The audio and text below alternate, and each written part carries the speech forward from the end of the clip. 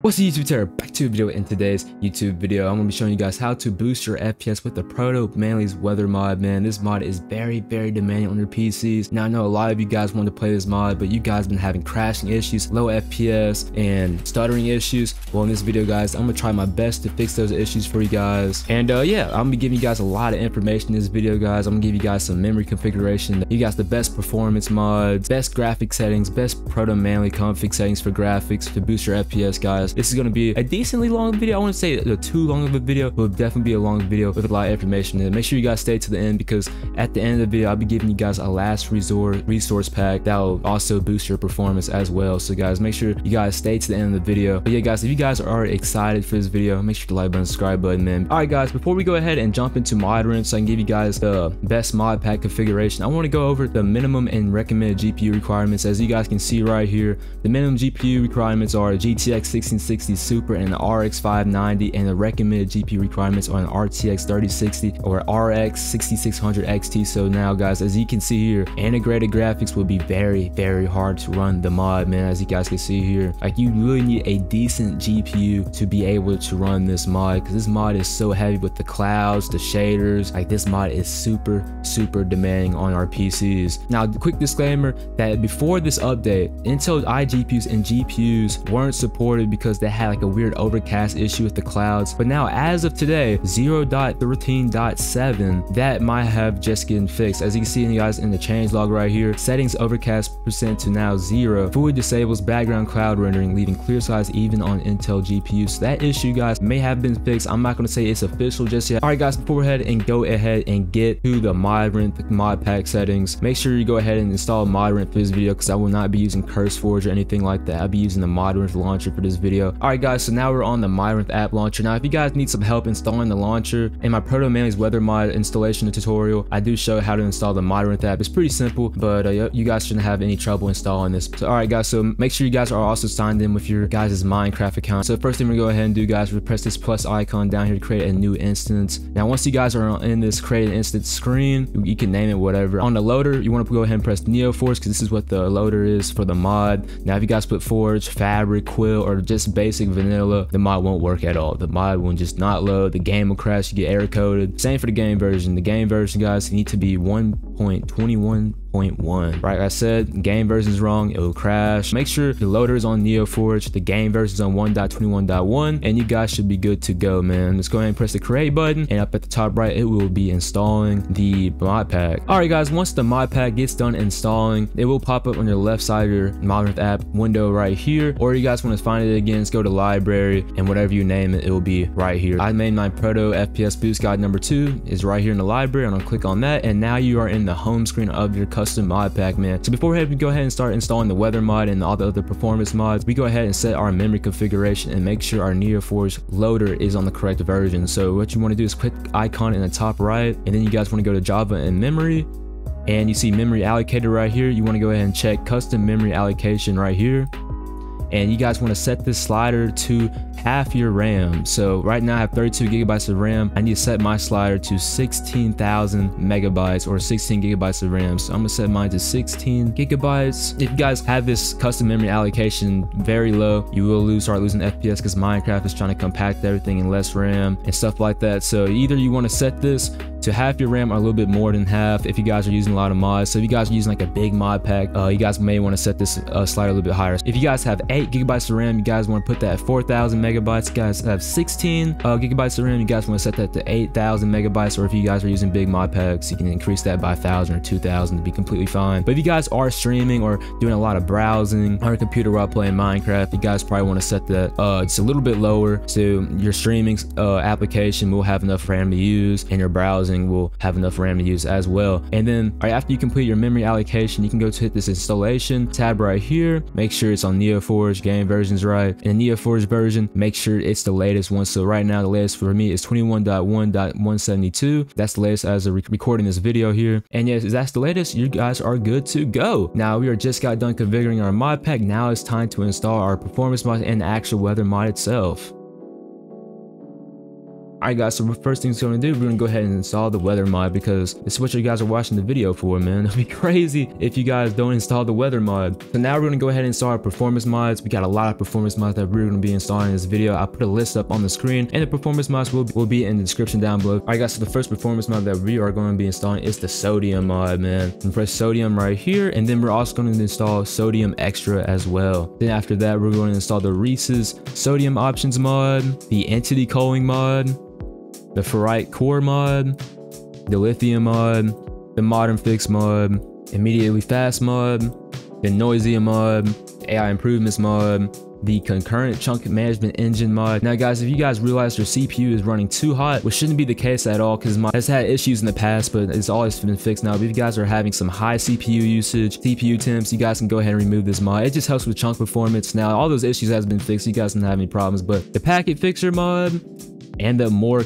culling mod now, if you guys want to go ahead and play with some friends, you guys can go ahead and install the Essentials mod. It doesn't affect your FPS at all, so you guys are good to go ahead and run that mod. Just make sure your friend has the same exact mods as you do, unless multiplayer won't work. Alright guys, Distance Horizons is not currently compatible with the mod as of currently making this video, so it's not no no really no point to install this unless you guys want to lose FPS for free. So doing a high install Distance Horizons, waste of FPS, waste of computer resources, and iris shaders too, another waste of another mod, waste of RAM as well. Shaders are not compatible with the mod. If you run shaders with the mod. The mod, the weather mod clouds will not load whatsoever. All right, guys, that is it for the mod list, for the performance mods, the weather mod. Now you guys can go ahead and install the other mods that you guys like, like JourneyMap and all the other mods. Just make sure to keep in mind that the more mods you install, the more RAM that gets used, and also more mods means less FPS. But yeah, guys, now it's time to load into Minecraft. So I can give you guys my optimized graphic settings and go ahead and show you guys the optimized graphic config for ProtoManly's weather mod, and then show you guys the the texture pack that will also increase your performance. Alright guys, we just loaded into our custom mod pack here. Now let's go ahead and go to the video settings, man. Now render distance, now this takes a huge chunk of FPS. Now I like to leave mine on 12 because I have a decent PC, but if you guys with really good PCs, you can put it all the way up to 16. This really goes off your RAM and your CPU. So if your RAM and CPU are really, really good, you guys can go all the way up to 16. If you, if you guys feel like you don't have a really good of a CPU or not that much RAM, I recommend going 8 or 10 chunks. Uh, simulation distance, you guys kind of want to keep this at the same render distance that you guys have. But yeah, guys, all this stuff right here is all personal preference. You guys want to put on full screen with GUI scale and stuff like that doesn't affect anything. But VSync, guys, we want to make sure this is off, man. Please make sure it's off.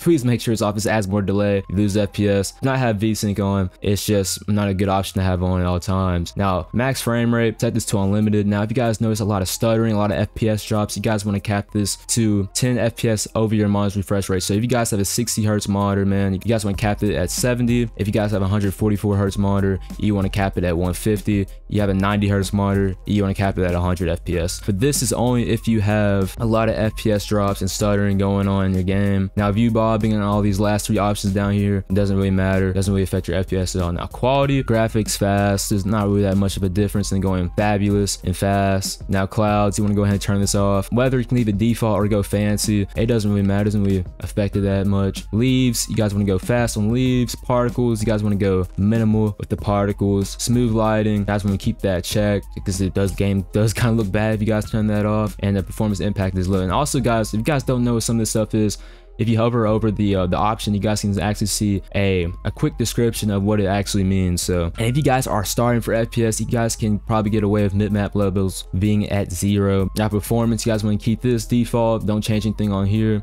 advanced keep it default as well. Animations if you guys want to turn off some animations you guys can go ahead and turn it off here. It doesn't affect the fps particles. It does kind of take a it, when the particles pop up on your screen I guess it takes away like one FPS, but I mean, just leave all the particles active, man. There's really no point to turn all this stuff off. Uh, details, I guess I'm gonna leave all of this default as well. Rendering, leave this all default. Extras, I wanna show my FPS for this video. I don't want FPS extended because I don't want graphs and like charts showing my FPS and like the averages and stuff like that. And uh, more culling, you guys will also wanna leave this on default as well. Now, if you guys are tech savvy and just wanna go in these, these mod settings and just change stuff, you guys can go ahead and do that. But yeah, guys, that is the optimized graphic settings. If you guys need to, you guys can lower the chunks down but that will just lower down your viewer distance. All right, guys, we just loaded into the game here. As you can see, we already got the realistic clouds going on, man. They look very, very, very nice. But you see, guys, on the top left of my screen, we have 165 FPS stable. All right, guys, to get to the weather mods uh, config settings, you guys want to hit the escape key on your keyboard, go to mods, and scroll down on this little list until you guys see proto manly. So I just found it right here, and then press the config button right here, and we will not be using the server settings for this video. We'll just be using the client settings. Okay, guys, so the first setting we're going to go ahead and change is the volumetrics quality. Volumetrics quality now, this is already perfect where it is, but honestly, if you guys need a little bit more FPS out of this mod, going low won't be bad at all. Now, if you guys go high or PC killer, man, your, your FPS is going to take a huge tank. Now, if I put on PC killer real quick, guys, look how much FPS I'm at now, 112. So I was at 165, now I'm at 112. And then if we put it on potato and uh, let's see how, it looks, we put on potato. Yeah, you see guys, look at the clouds. They just look a whole lot less quality. They look more white than anything. Like they just show very white on your screen. The clouds are just more white. So we do get a little bit the FPS boost, but not as big. So I think medium is perfect. But if you guys actually get 183, it's not bad. But I guess you could put potato on if you guys on a low end laptop. Let's see how low looks like. let me see how low.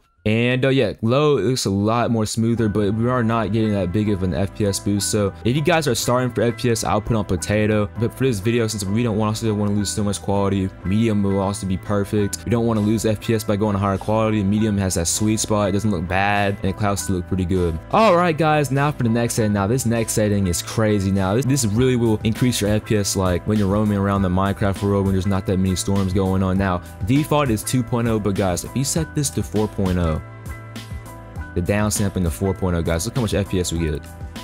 Boom! My goodness, guys, we are all the way up to 330 FPS now. And now what this downsampling thing does, it just makes the clouds like a little bit less quality again, but it adds some artifacts to the clouds as you guys can see here. But yeah, you can see there's a lot of artifact on the clouds, especially when you move around. You can see between the trees, it's like pop-ins and stuff like that. But guys, look at here, guys, look at my FPS. We literally doubled our FPS basically. Now, you guys want to try downsampling to 3.0? I didn't really notice anything of a change with 3.0. My FPS was maybe like 10 FPS higher, 20 FPS higher. So downsampling at 3.0, I wouldn't even want to do that. All right, so guys, if we put it on PC Killer, the clouds look a little bit better, and we are still stuck at the same FPS like we were at the beginning of the video. So, oh shoot, we got a squall line forming over here, bro.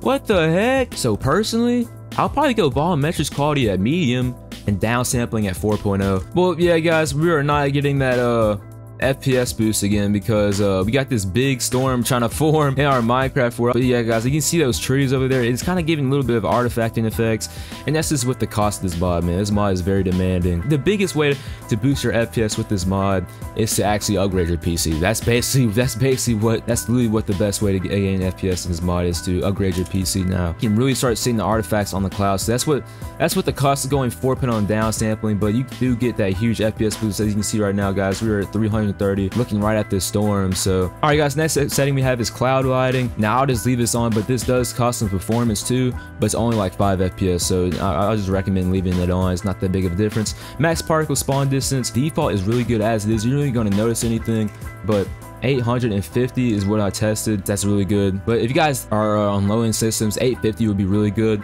But for my PC, I feel like I feel like a 1024 would be good for my PC. Now debris particle density, you guys can go ahead and drop this thing all the way down to 0.20 on the debris particle density. Now this will help your FPS during tornadoes and during squall lines. Now custom particles want to leave that on and radar resolution, man, you want to set that down to 30. If you guys want your radar resolution to be a little bit higher, you can go ahead and put that 35 or 40. Now the higher you have your radar resolution, when you have the weather radar on the ground, it will take a tank on your FPS. So you put it at 100 and your weather radars on the ground, you will be losing a whole lot of FPS. So, alright guys, now for the last resort of this video for more FPS is this resource pack. Now, shout out to FateAssassin in my Discord server for sending me this resource pack out so I can go ahead and show you guys what this resource pack is about. But yeah, guys, you can see here, this resource pack does make it cloudy at all times and you can see that the clouds are very, very low quality. Now, this resource pack doesn't really help me out that much, but maybe on lower end PC There will be that FPS boost for you guys. Also in this resource pack, this all introduces new 3D blocks into the to the mod. As you can see here, all these blocks are 3D, which looks very, very nice. Now, this is a weird artifacting issue, but FateAssassin did say that he was going to be updating this, this resource pack to be adding some more performance and fixing some bugs, which would be very, very nice. So, but yeah, guys, if you guys want to use this resource pack also, you guys want to go ahead and go to, to server settings and set your overcast percent all the way to zero so you can get rid of that weird cloud overcast effect with this resource pack. Now you can actually see just the just the supercell with this resource pack. So this resource pack is very, very nice for very, very low end PCs. I wouldn't use it on any high end PCs or medium end PCs in my opinion because you already have down sampling, you already have a volumetrics quality you guys can change to increase your guys' FPS. No ambient clouds going on. You just see the actual natural storm with this resource pack. So nice little resource pack comes with some nice blocks in it. But yeah, shout out to Fate Assassin in my Discord server sending me out this resource pack. I'll leave the description down below if you guys want to go ahead and install it, man. But yeah, guys, that would be it for this video. Now, I hope, I hope, I hope, I hope you guys get some FPS, man. I know it comes with a cost of quality, but hopefully my memory configuration, my mod list, and my config settings can help y'all get gain some FPS for his mod. His mod is very, very demanding. Even I struggle to run the mod. I know a lot of people struggle to run the mod. So even if you may have not gained that much FPS, maybe you gain like 20 or 30, but hopefully this mod becomes playable after watching this video. But yeah, guys, once again, the best way to, to upgrade your FPS while playing this mod is to get a new computer. Thank you guys so much for watching, man. Hope you guys enjoy. Hope you guys I help you out.